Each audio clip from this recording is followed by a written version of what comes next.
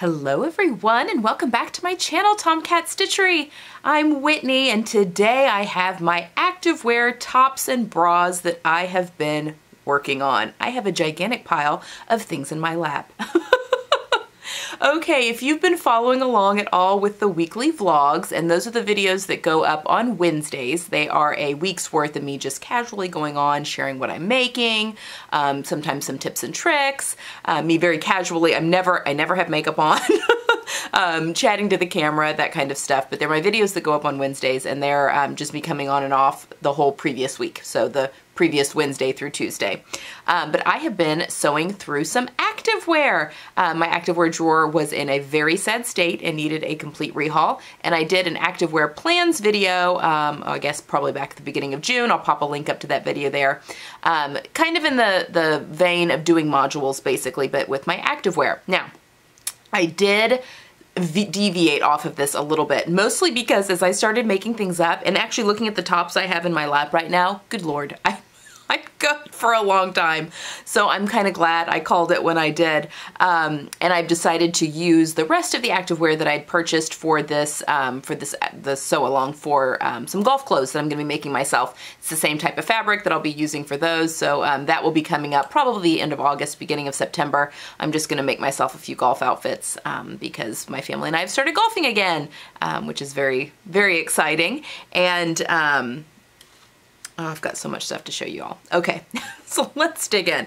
I'm gonna try and do this by patterns. I reused quite a bit of patterns, mostly because that was easy, um, but I definitely added a few more patterns as time went on, even patterns that aren't necessarily meant to be activewear patterns, um, just because I kind of liked the way that they looked with um, the leggings and that sort of thing. So to give you an idea, my active lifestyle is basically uh, walking, and I do like a power walk. Uh, my husband and I do a whole lot of uh, long walks and that kind of thing, which is kind of my cardio. And then for strength training, um, we actually just started swimming some laps at our pool a little bit, but uh, mostly it is yoga Pilates and Pilates. I have to be very careful with any kind of high intensity workout. I have some autoimmune issues, I've talked about it before, but I can very easily develop joint and um, issues and tendonitis with repetitive motion. So any kind of, um, you know, lifting, doing repetitions of any kind of lifting can um, aggravate that. Um, definitely any kind of um, um, high intensity cardio, running, um, jumping up and down, that kind of thing can really tear up my knee and hip. Um, it's just something that I've had to learn to deal with with my body. So I have to be very gentle on my body. So that's kind of the active lifestyle that I lead. So definitely not anything high intensity because um, I do have a large bust. So when we're getting into the bras, that's kind of why I think I'm able to get away with the type of bras that I made. Um, yeah, for that because I, I am more low intensity. Okay. So yeah, it, it evolved, I guess, as I started to get into things. Number one, I was able to make a ton more um, items, I think, out of my yardages I had than I originally had thought. I pretty much purchased either a yard and a half or a meter and a half, depending on where I was um, ordering, of all of these fabrics. So, um, yeah, everything that is of the same fabric kind of all came from um, a yard or a meter and a half, depending on where that came from. Okay, so where do I want to start? Let's start with bras. I ended up only making four, or three, sorry, three sports bras. Um, mostly because they're all kind of neutral. Just trying to wondering how I'm gonna do this. I have a lot of hangers in my lap here because I like the way things look on hangers to show you all. We're just gonna kind of put this, look at all this. These are all the tops, just the tops. Okay, so I started off, I made all of the bras from the um, Power Sports bra pattern from Greenstyle Creations. Now, um, I'm going to be popping up pictures of me actually uh, wearing a lot of these just so you can get an idea of what they look like on the body. I love this pattern so much. I've made it for my daughter and for myself. I love it because it has a whole bunch of different variations. Um, so you can get, you don't get sick of the same bra, basically, um, and a lot of strappy options and that kind of thing. So this is the navy blue that I made. This is a um, activewear knit that I got from the Fabric Fairy. I will link, if the fabrics are still available, I'll link them with the um, patterns down below. So definitely go have a look uh, down below. Also, the description box is the writing right underneath the video. And usually you'll just see a couple lines of writing and then over to the right, it will say either show more or there'll be a down arrow. If you click on that, it will um, extend that whole description box. And usually there is a ton of information down there. So uh, definitely go have a look if you're, if you're curious. So this is the Power Sports Bra, the most basic one. Um, it's just a racer back bra. Um, I would consider this a compression style sports bra. Um, the back is lined in self fabric, the same fabric as the rest of the body, and then the um, front of the bra or the, where the, the cups is lined in a black power mesh. Um, which just gives a lot of support. And then we've got an inch and a half wide elastic here at the bottom, and I find these very supportive for what I need to do. Um, I made a, let's see, I have, I'm 33 inches under my bust, so I made a 34. It has you round up. Um, or maybe it said 33, 34. I use the 33, 34 band, I think, because uh, I am 33 inches underneath my bust. Now my full bust is 40, so that seven inches put me in a G cup, I believe, for their pattern. I think that's right. I have a seven inch difference between my under bust and my full bust fits perfectly. I've also made this for my daughter and hers also fit perfectly with that measuring. Um, so yeah, it's a really good pattern. So I made three of these. I made this one and this fabric and these are all out of fabrics that I made, um, well, I made leggings actually out of all the, and some other stuff too. I made this green one also in the um, racer back. It's the same style as the um, blue one. And um, yeah, again, I, I did the black power mesh for there. I top stitched this one. Um, I did not top stitch the blue one. I kind of prefer not to have the top stitching, to be honest. So this was the first one I made. And um, yeah, it worked out. And then I made the blue one. And then I decided to um, have some fun I really liked the strappy versions that they had of this sports bra, but I was a little worried about support because I am such a large cup size. Um, where is the bra? But I had the bright idea, which I think actually worked really well, to put um, bra elastic into my straps um, instead of just regular elastic to help because the bra um, bra elastic is very um, firm um, just to kind of help and I think it worked really well. So I made this one in kind of this rust color. So this is the crossback strappy version. There's a U-back and a crossback. The U-back is really cute. It goes it's got like um, the straps that come down and also go in here so there's different layers.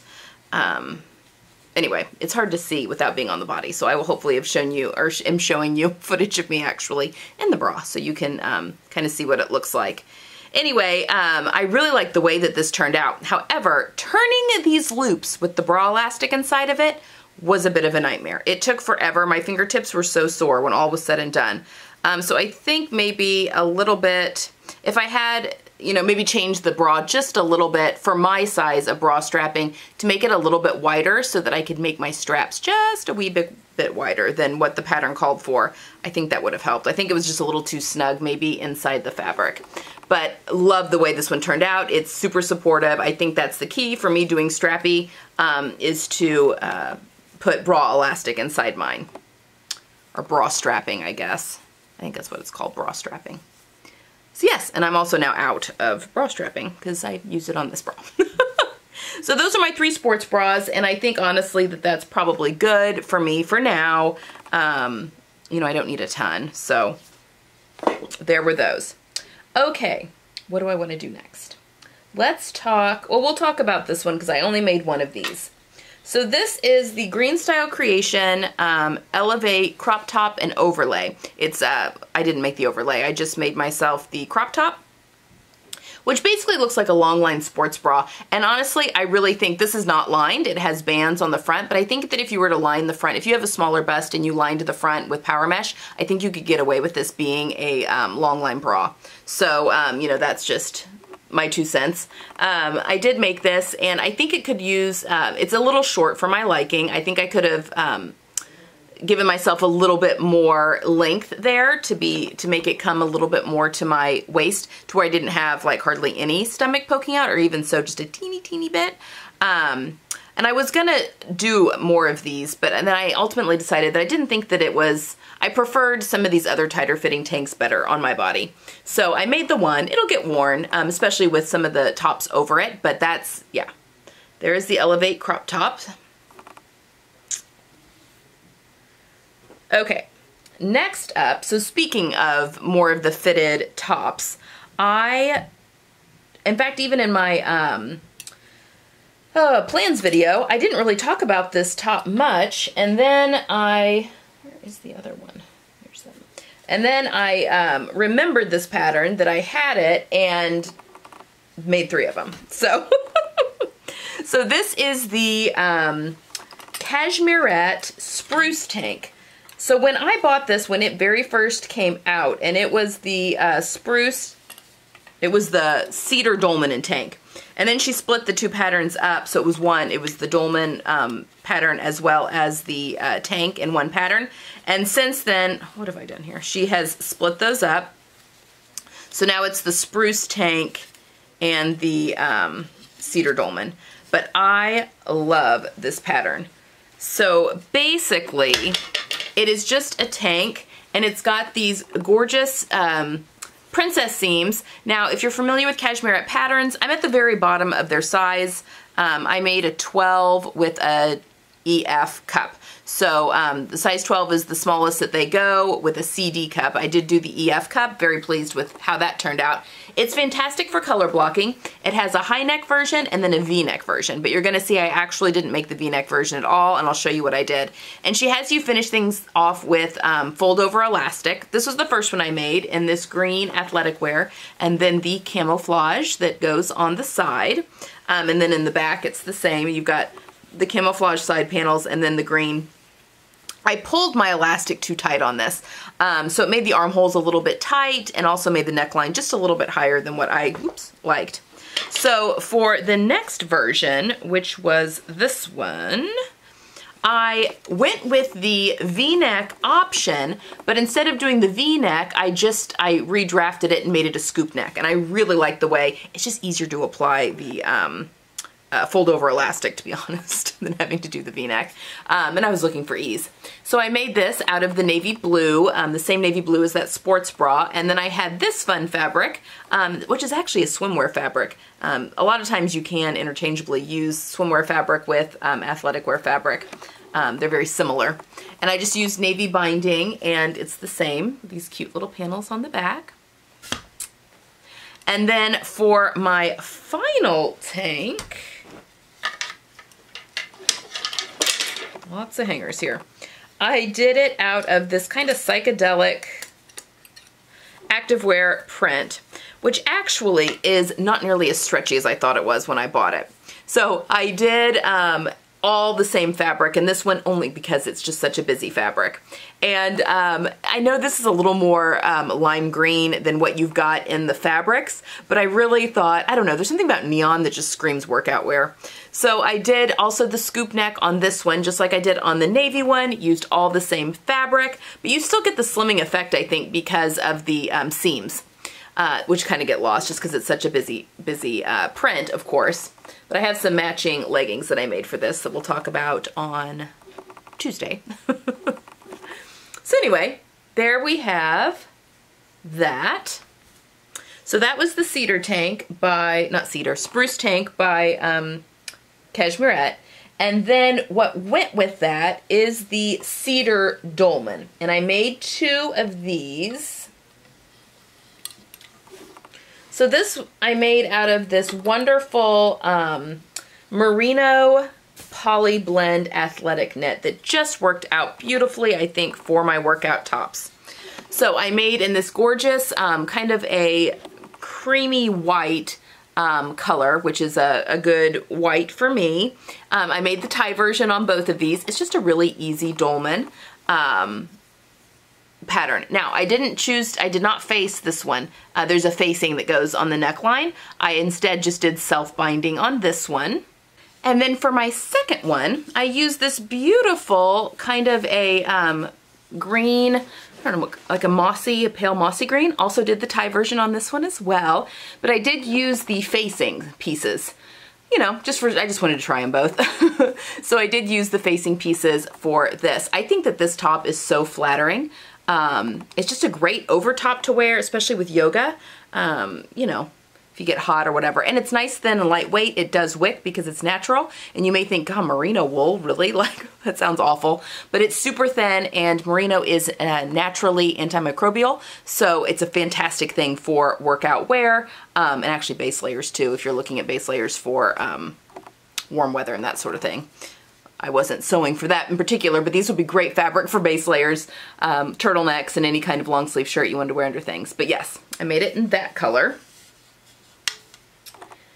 Um, let's see. All right, the next pattern. Let's go with the Simplicity um, 8338. Is that right? I'll pop a picture of the pattern up here. so the first one I made of this was the same fabric as that um, Cedar Dolman in this kind of white. So basically it's just your typical like real slouchy tank top meant to show off the sports bra, real low arms, um, you know, just a very loose tank top. So I made it in this white. I did self fabric for the bindings on this one. And, um, you know, I liked it, but kind of determined that it was a little too long. I needed to do a little bit of a petite adjustment. So even though the armholes are meant to be long, it was, it was like the, you know, the strap part was hitting me on the boob, whereas it needed to be up. So, you know, this one's fine. It'll get worn. It's a nice, easy tank top to throw on, especially in the warm weather. But I did go ahead and do a petite adjustment on that pattern and then made the same um, versions. There's three versions in this pattern. I actually only ended up making just the plain um, racerback version, but made the same version with the petite adjustment, and I used fold over elastic this time to do the binding on the armholes and neckline, just for a little something different. And um, yeah, I do like the way that this one turned out. Very nice and loose, kind of gives you a lot of um, you know, forgiveness and stuff through the midsection. Now, the reason that I stopped and only made two of this pattern, I kind of thought I'd be making a lot, is because I do do a lot of yoga and Pilates where I'm inverted a lot of the time. And a loose tank top is just not conducive to that. If you've ever done either of those, you know that if you have something that's too loose on, um, it ends up going like up over your head and then you can't see and you're trying to like fight the shirt down. It's just not ideal. I prefer tight fitting tops um, when I'm actually doing yoga um, or the Pilates, uh, mostly yoga, um, the tight fitting garments. Now I do like a looser, maybe a looser top when I'm going to and from to like throw on over, um, which is why I kind of like some of these over shirts um, for that. Okay, um, next, let's talk about, let's talk about, I made two new to me Ellie and Mac patterns. This is that same poly or poly merino blend, but in this beautiful rust color. And the first one I made, this is the back. I love this. It's the Good Workout Tank um, by Ellie and Mac. I just think it's just adorable. Um, I actually made this one as is, and I do need to do a little bit of a petite adjustment, I think, on this one for the same thing. The armholes are just a little bit too long. Um, but I just love the way that it finished off. I love the, like the looseness, and then you can really easily see your sports bra in the back there that I think's a lot of fun. I planned on making more of these, but again, it was the same thing. This is a very loose fitting tank. So for, you know, for walking and that kind of thing, these are great. But for the yoga um, that my yoga studio is now doing virtual classes, which makes things really easy. Um, I don't really like the looser tops just because, again, they go up over my head. but I loved this color. I loved this color. So I got this top out of that. And then I also got the Ellie and Mac Ruched Tee out of the same fabric. This is such a good pattern. It comes with a little, um, quite a few different body styles. So it's got a loose fit, a fitted fit, and a skinny fit. So depending on how tight you like to wear your shirts, um, you can choose any of them. I went with the loose on this one because I wanted to just try it out. I did the short sleeves. There's quite a few sleeve variations as well. And then it has this adorable ruched back um, which actually they were wearing it either way. You can kind of flip this t-shirt either way. And I used this pretty um, lilac, I guess, uh, velvet ribbon I had in my stash for the tie, just to add a little pop of something different, you know, just, and I liked, I liked those colors together. I thought that that was a fun little pop of color, something a little different on that. But I think that's just really cute. Um, and obviously you can ruche it as much or as little as you want for whatever your um, um, comfort level is. But yeah, there were, let's see, they come in a couple different lengths as well. Well, you can have the longer length. I think I did the longer length on this one. You could even do a cropped length if you want like a tight fitting shirt. Um, it comes sleeve, you can do sleeveless one as well. If you want one that just really sits right at your waist when it's ruched, very easy to do as well in a tight fitting shirt. Um, tons of variations though for this pattern. So it's definitely a good one for, um, and not just for activewear, for everyday wear as well.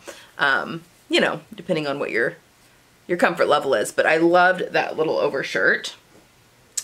And then, let's see, let's talk about this pattern. So this one was kind of a surprise to me. So I actually, um, and this one has a little fun um, sale going on today. But this is the La Bella Donna from Love Notions Patterns. They re-released it actually today. It's their Feature Friday pattern today, so it's $5 today only. So if you're watching this, I will have a link down to the pattern down below, but it is on sale for $5 today.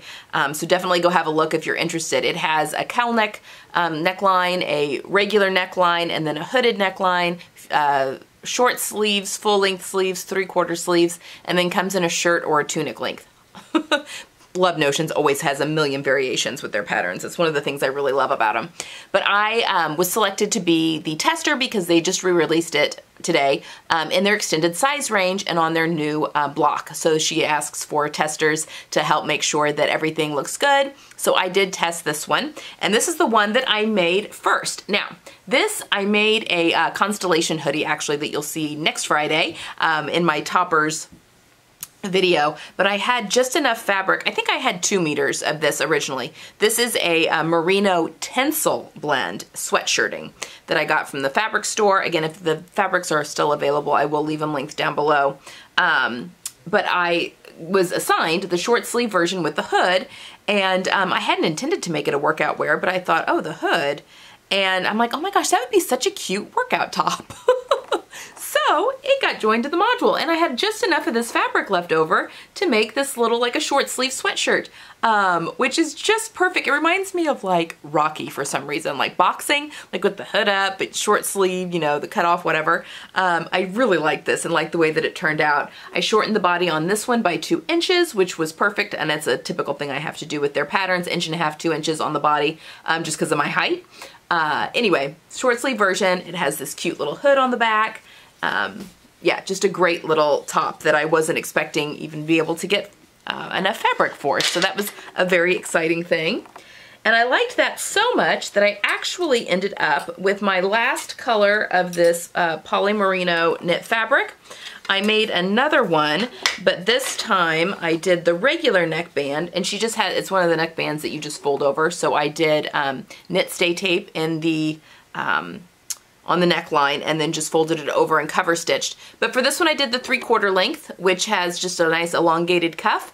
Um, it's kind of, it's a dolman style sleeve so it's very loosey-goosey. I did the shirt again but just yeah, shortened it by two inches I think. This was a different block so she made a couple tweaks to the first one and then I made this one up just to test. But um, yes, extremely cute. A very, very cute top and obviously doesn't have to be activewear, but I thought this would be a good throw over with leggings type of shirt for um, after yoga, that kind of stuff. If and when I can go back to the yoga studio. so with that being said about me really wanting some tight fitting um, tops that are really better for yoga just so they're not going up over my head constantly. I decided with my last three um, little bits of yardage left over that I would make three Summer Basics tank. I know you guys have seen this a million times. I just love this pattern. It's just a great tank top pattern, um, which works well for layering and all you know, really, these first two could be very easily layering. I don't have to wear them for activewear. They can be worn per normal. But I made one in kind of the um, sea blue. I like how kind of drapey they are too, just the nature of the fabric. A little different than my cotton spandex ones. And then I also had enough to make in the green. That's backwards. I always put tags in these because they're hard to tell the front and the back. And then I did self fabric for the bindings on both of those. And then finally, I did the same pattern, but in the leftover camo knit, I had just enough for a tank top. But on this one, I decided to go with that fold over elastic again, just for something a little bit different.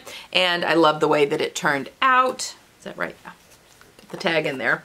So just a very simple, um, you know, tank top pattern that will fit and not ride up on me when I am in the down dog position. okay, I think that's it. So those are all of the tops and sports bras that I made for activewear during June and July. Um, if you have any questions, you can definitely leave them in the comments down below. Um, let's see, on Tuesday, I'll be sharing the bottoms. I made two different bottom patterns and let's see, what did I make? Four bottoms total out of from two different patterns. And then next Friday will be my jackets. I made three different jackets or pullovers, whatever you want to call them, toppers. so that will be next Friday.